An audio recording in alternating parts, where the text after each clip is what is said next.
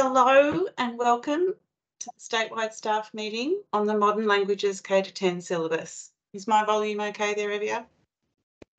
Great. Yep. All Thank good. you. During this meeting, we will provide an introduction to the syllabus and our support. I am Renetta Wolf and I'm presenting today. My colleagues Chanel Ingram and Victoria Hay will be monitoring the chat pod and adding important links for you. And before I get right into it, is um, Valerie on the call? Is Valerie there?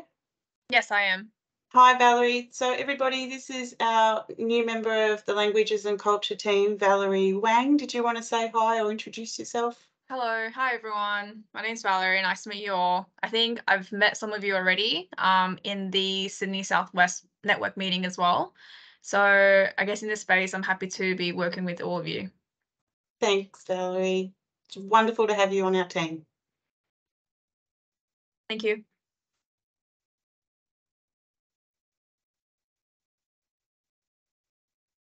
So we recognise the ongoing custodians of the lands and waterways where we work and live.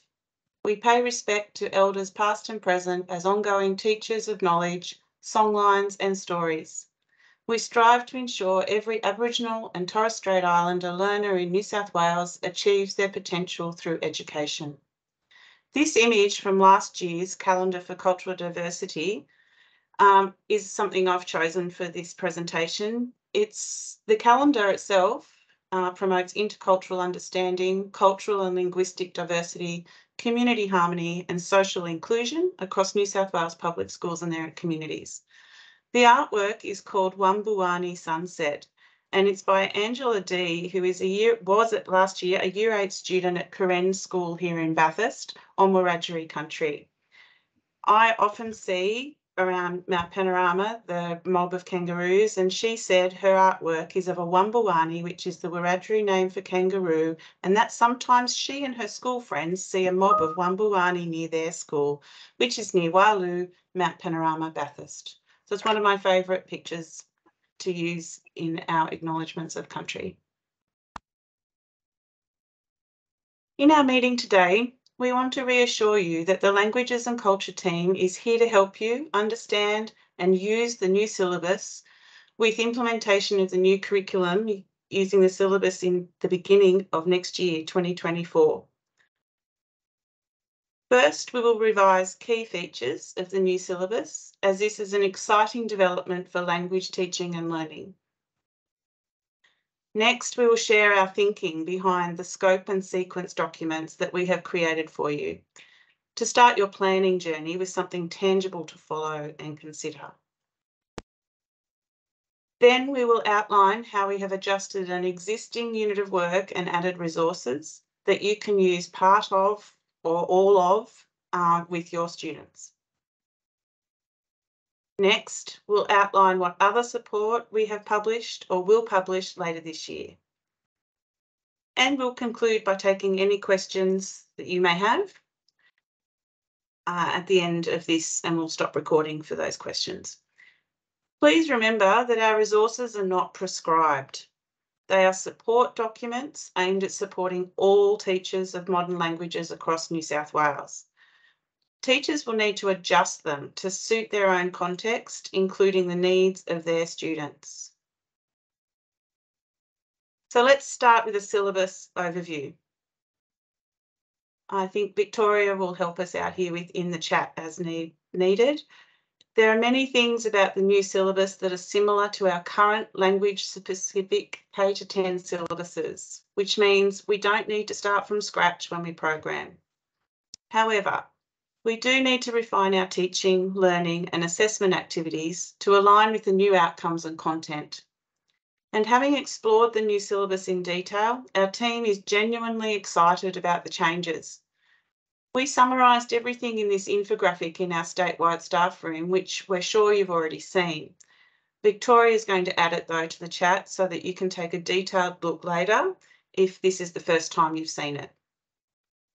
So to break it down a little, there's one syllabus for all modern languages. The same outcomes and content will make collaborative planning easier for teachers. There is a stronger focus on students and their personal world.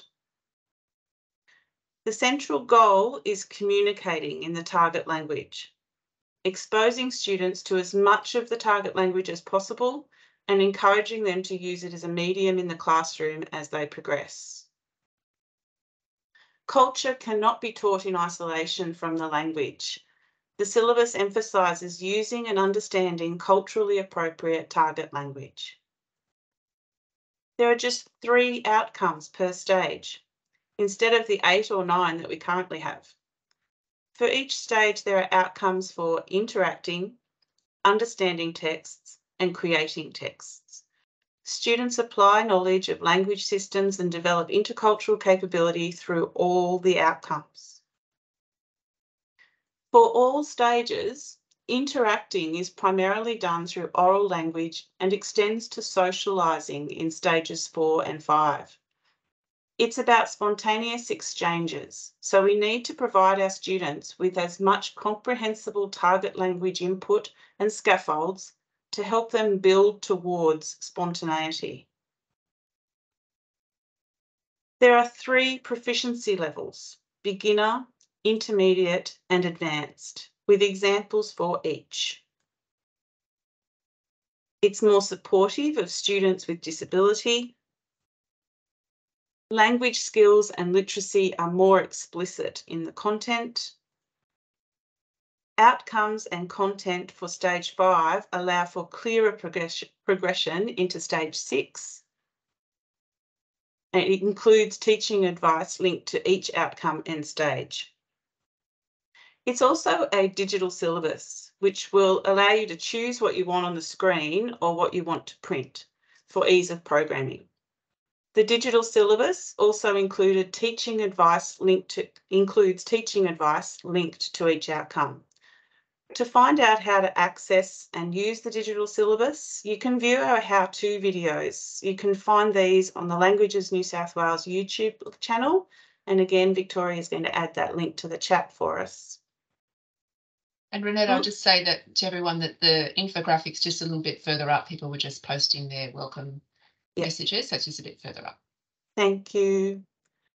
So like our current syllabuses, teachers continue to make decisions about the sequence and emphasis given to the content based on the needs of their students, of your students. Now this diagram shows how the Modern Languages K-10 syllabus is organised, the new syllabus. The central goal, as we commented before, is communication in the target language, and this is shown in the red line, by the red line. The syllabus has three focus areas, interacting, understanding texts and creating texts. Each focus area has its own related outcomes for each stage. Applying knowledge of language systems and developing intercultural capability span all three focus areas. This means that students are expected to use and understand culturally appropriate target language across K to 10. So I'll just note here too that we say focus areas, but you'll notice that they're also the same as three outcomes. So under each focus area, we also have the same thing as an outcome, interacting, understanding texts, creating texts. So here are the outcomes for stage four, stage five, and for life skills in stages four and five. So you can see each outcome has a code, which is the same as they currently do. But because there's only one in each focus area. Each of our outcomes ends in a zero, one. So let's take a look at the syllabus structure at the outcome and content level. This is a screenshot of stage four interacting. As you can see, the name of the focus area is on the top of the page in the dark blue box. In this case, interacting. Right underneath is the outcome code, ML4INT01, and then the outcome, which is exchanges information and opinions in a range of familiar contexts by using culturally appropriate language. The subheadings on the right-hand side show the content organised into content groups. Now, the first content group shows the communication skills and functions by which students will learn in order to demonstrate achievement of the outcome. The second content group contains the knowledge of language systems students will develop. And finally, the third group is about applying knowledge of the target language culture. So it's important to remember that in order to do one, the communication skills students need two, and in order to do it in a culturally appropriate way, they need three.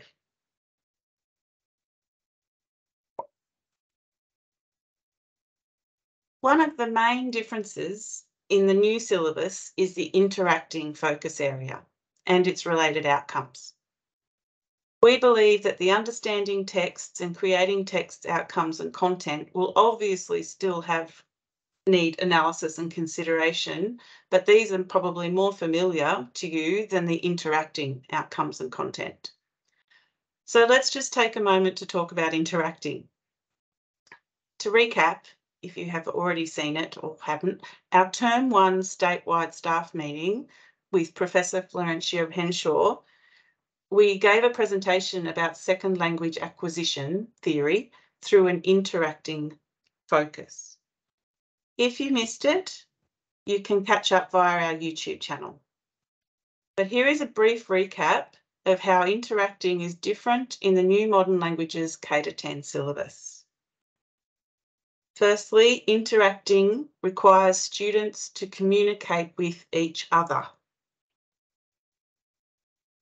It is primarily done through oral language. It must be reciprocal. It is spontaneous. And in stages four and five, it ex extends to socialising. So when you review our units of work, you'll see that we have made every effort to embed these aspects, or we have embedded these aspects of interacting. All right, so that was an overview of the um, syllabus, which I think we have presented before, but we, since it's new, we like to recap. Now, understanding what is new in the syllabus and how the syllabus is structured will assist you in programming. To support you with programming, we are developing a suite of resources, which will be released over the next 12 months. And let's start with our scope and sequence documents, which were uploaded in term one. Planning for the new K-10 syllabus allows us to revisit and think carefully about the purpose of a scope and sequence in our teaching program. A scope and sequence summarises what is to be taught and the sequence in which it will be taught within a year or stage. For example, you may have one unit for each term of learning which looks at a particular theme or topic. Although in our new syllabus sample scope and sequences, we have arranged the elements differently to the current syllabus ones, the elements required for a scope and sequence as such have not changed. You do need to ensure, of course, you are using the new outcomes in your scope and sequence. Let's now look at a sample scope and sequence for the new syllabus. This is term one from the sample stage four, 100 hours generic scope and sequence available on our website. We'll put the link in the chat for you now. Thank you, Victoria. And on this scope and sequence, you can see NESA's requirements for what is to be included. The title of each unit, the sequence of each unit for the year or stage, the duration of each unit, and the syllabus outcomes included in each out in each unit as outcome codes. Whilst not required by NESA for school registration, the department recommends including the following in your scope and sequence for each unit. The skills students will develop, a short description of the summative assessment task, and a learning overview of each unit. These inclusions support a backward mapping approach and provide a succinct reminder of what skills are important for students to successfully demonstrate achievement of the outcomes and content in the context of the unit.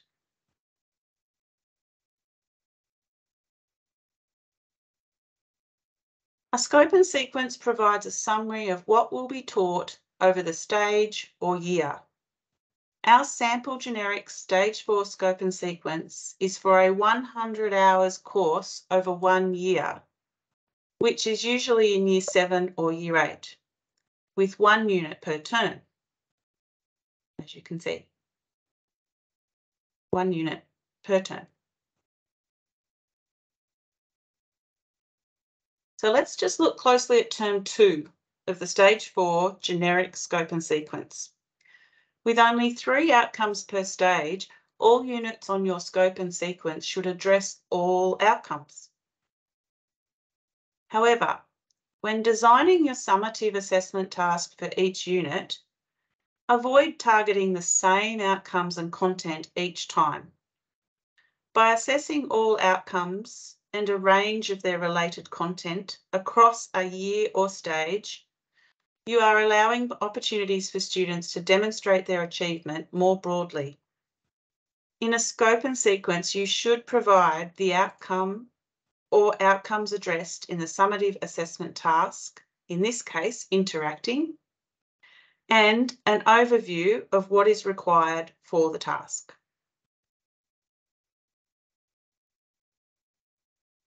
This slide shows the assessment tasks for all four units from the same scope and sequence. As you can see, the three outcomes have been addressed through the assessment tasks. The task we just looked at in term two assesses interacting. In term one, creating texts and understanding texts are assessed. In term three, creating texts is assessed. And term four, understanding texts and interacting are assessed. One of the features of the new syllabus is that the outcomes and content allow for clearer progression into stage six. Due to internal assessments requirements for stage six, teachers need to create tasks which assess students in a variety of ways building a more complete picture of a student's overall achievement. An example of this is an interrelated task where two or more skills are assessed within one task. The content from the text in one component of the task influences the receptive skills of the student and influences their productive responses. So you can see in term one and term four, this approach has been taken for the assessment tasks. As long as all outcomes are assessed across the stage or year, it is up to the teacher as to which they choose to assess for each unit. As I mentioned previously, a backward mapping approach to planning each unit is best practice with the summative assessment task used to determine what content and teaching activities are included in the unit of work. When designing your scope and sequence, we recommend that you embed the spiral approach. The acquisition of a language is a cumulative process. Therefore, a continuous and sequenced approach is essential when developing your units of work. Using a spiral approach gives students the chance to revisit what they have learned and use their language skills to participate in more complex situations. Students can develop their skills gradually and repeatedly, reinforcing and growing vocabulary and structures over time. As a result, students' knowledge is deepened and broadened, and they experience a feeling of success by building on prior learning. Here I will show you an example of how we have embedded the spiral approach in our generic scope and sequences for stage four, 100 hours, and stage five, 200 hours, which is year nine and 10. In stage four, in term one, the topic is My Selfie, and students learn to introduce themselves and exchange information about age, birthday, where they live, their likes and dislikes. They learn greetings and describe physical appearance. Then in year nine in term three, the related topic is who are your influences? Students learn to describe people in more depth in the context of how people have influenced them. They discuss personality and feelings and justify their connections with people. Here, the content of the topic My Selfie is revisited and developed in more depth and provides students with the opportunity to build on and enhance their skills within a similar topic. Then in Year 10 in Term 2, the related topic is hopes and dreams. In this topic, students discuss their personal world in the context of their abilities, subject choices, and hopes for the future. Again, this content circles back to the content in my selfie and who are your influencers. But their knowledge and skills are deepened, broadened, and strengthened. The spiral approach of revisiting content and gradually building students' skills allows them to build their communicative competence and confidence to use the target language in real life situations. We also recommend providing a student-friendly copy of the scope and sequence to students at the start of the year, written and presented in a way appropriate to them. This gives students a sense of what they may be able to achieve by the end of each year or stage, which can be very motivating. Students will also be able to see how all their learning links and builds, enhancing engagement and supporting students to reflect on areas of growth or for growth. This is a student-friendly copy of the generic scope and sequence for modern languages stage 4 100 hours. So please take a moment to read through it.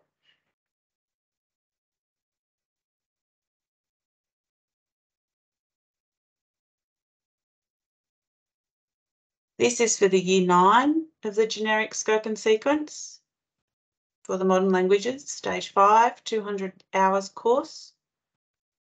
I'll let you read that one.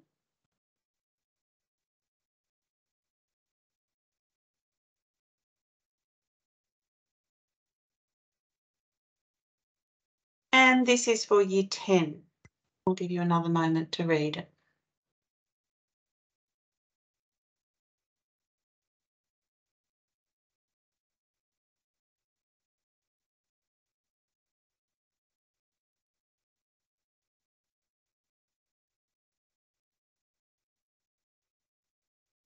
Okay. Next, let's look at how we are setting out our units of work. We are creating two units of work per language. So these, we, there won't be generic yet. Those scope and sequences were generic and there will be scope and sequences for each language as well. One unit of work for stage four and one for stage five including relevant resources for teaching and learning activities. So the French and Japanese units are scheduled to be published on our website by the end of term, with other languages following in semester 2 to 2023 and in 2024. You may have noticed we've advertised for teacher writers to support us with this work, and this ensures our support is developed by practicing teachers. Units of work summarise the teaching and learning activities, resources and assessment, both formative and summative, for a particular set of outcomes and content in the syllabus. They also include adjustments to meet the learning needs of students where required and a section for reflection and evaluation.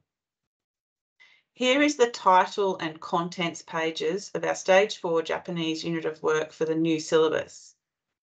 Our units deliberately contain details which unpack new information and pedagogy in order to cater for a statewide audience and meet departmental publishing requirements. Your units are not expected to reflect this level of detail. So NESA requires that a unit of work includes a unit description, syllabus outcomes, duration, year or stage, integrated teaching and learning activities, reflection and evaluation.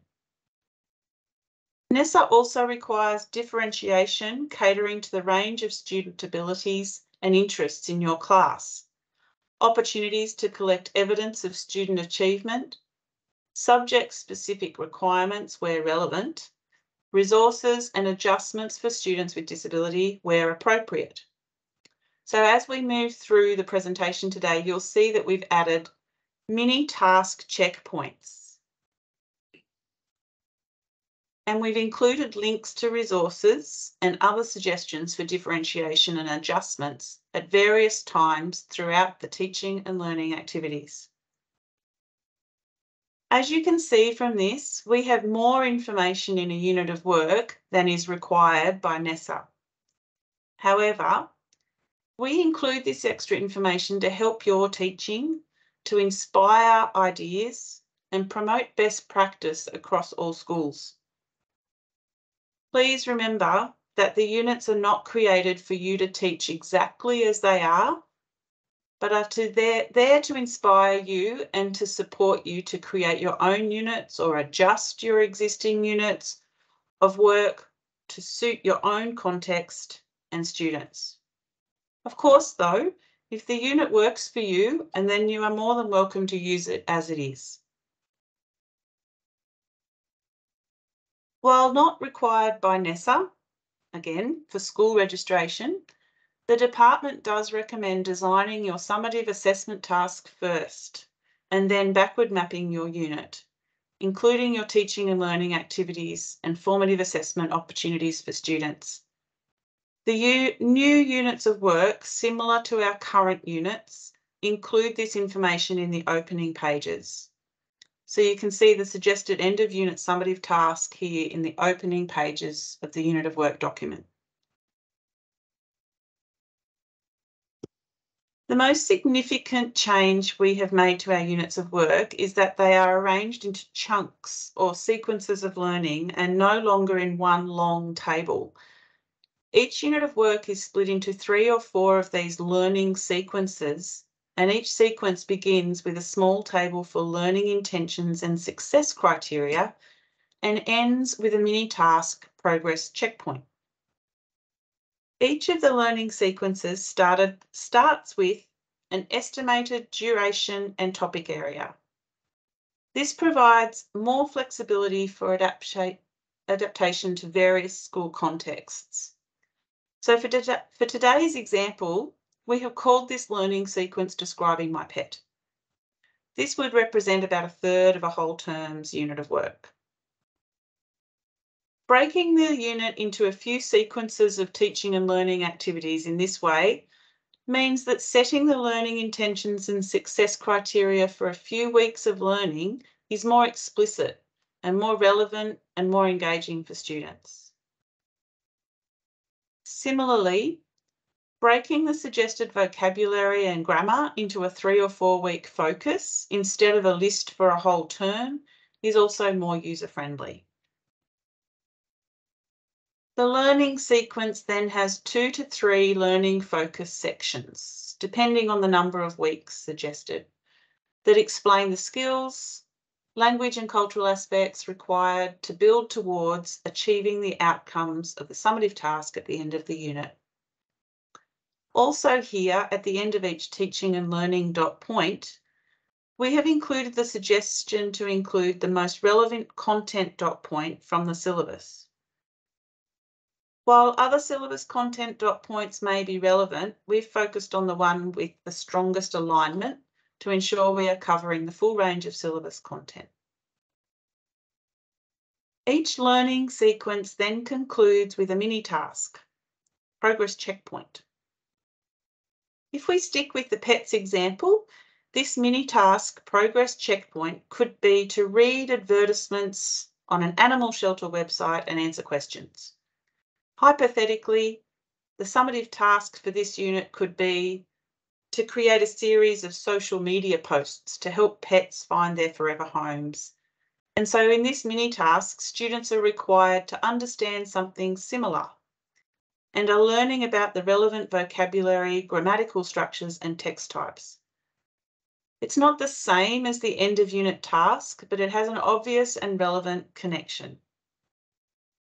The mini task also enables students and teachers to assess progress towards the final summative task or end of unit assessment and for the teacher to provide feedback. We think these sequences of learning make the unit of work more user-friendly. You may choose, to may choose to use the unit as is or adapt it, or maybe you'll find one learning sequence perfectly suited to your context, but not the rest of the unit of work. Our goal is to showcase planning and pedagogy to support student success. Looking more closely now at suggested teaching and learning activities, you'll see in this snapshot they are in dot point form under each learning focus heading. You can also see many resources are still included as hyperlinks, like our current units of work. The main thing to notice here is that content dot points from the syllabus are now added in bold at the end of every activity. As I mentioned, we have chosen the one most relevant to the task, but multiple could be included if you consider them appropriate. Now let's look more closely at what we have called a mini task. Basically, they are tasks or progress checkpoints that have been backward mapped from the end of unit summative task. Each unit has two or three mini task checkpoints included at the end of each learning sequence. By including them in our units of work, it embeds an opportunity for formative assessment, student reflection, feedback, and teacher evaluation while the learning is in progress and not just at the end. Now, we know that teachers are always providing feedback and always formatively assessing students. But this approach now allows you to clearly define that process and explicitly link it to the summative assessment task. Furthermore, it allows students to be engaged with and involved in their learning journey and to identify their individual learning goals. So in the grey shaded area there, you'll find suggested adjustments for differentiation and just like in the teaching and learning activity dot points, there are hyperlinks to included resources. The example shown here is to support stage four students in their preparation for an end of unit task that has an interacting component. So the resources provided for this task support students to develop their interacting skills. The interaction has information gaps in that they don't know what event their partner wants to attend and spontaneity in the conversation fillers and comment making. There is a real world purpose and context to the task to make arrangements and socialise with peers. Resources to support students in their thinking are also included. And as you may remember from the slide outlining the learning sequences, Student and teacher reflections have also been included after each mini task to inform practice and help students connect with their learning. Lastly, to complement our units of work, we will also be sharing student-friendly unit overviews or learning maps. These are a great visual representation of the learning for students. And here is the stage four Japanese and this fun one, here is the stage five Japanese, which I'll give you a moment to read through before I move to the next slide.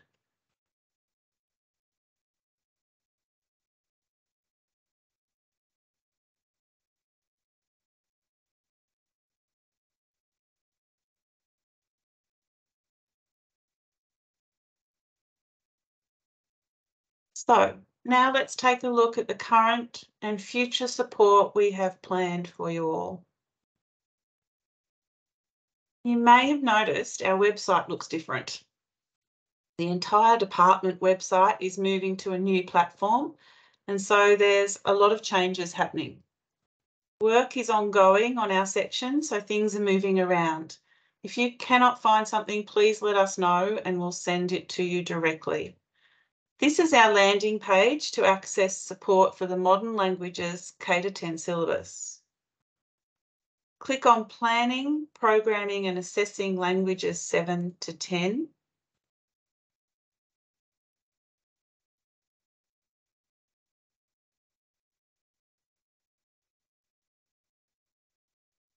And on the Planning, Program and Assessing 7 to 10 page, you'll see a section for the Modern Languages K to 10 syllabus.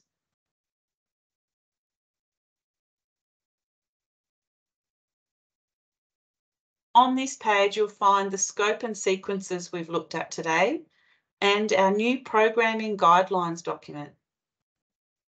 Included in this document are checklists including a scope and sequence checklist and a unit of work checklist.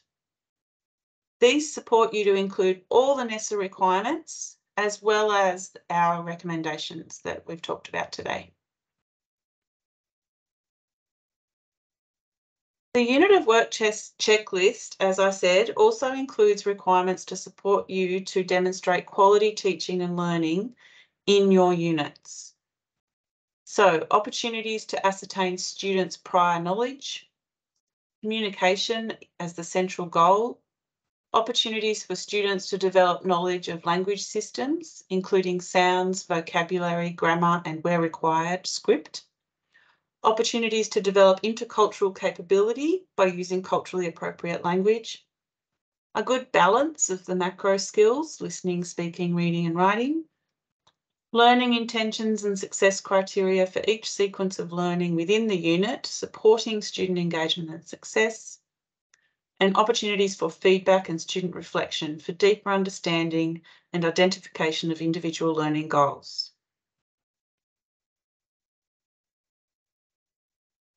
Depending on the availability of teacher writers, we're planning to roll out modern languages support over 12 to 18 months. You can see what's available here already. We've looked at the scope and sequences and programming guidelines. Please note that if you're a teacher who leads a languages faculty or, or if you're the only teacher in your faculty, we also recommend reading our Leading Languages 7 to 12 document, which has been updated to support the new syllabus. So this is what's planned for this term. I'll let you read that.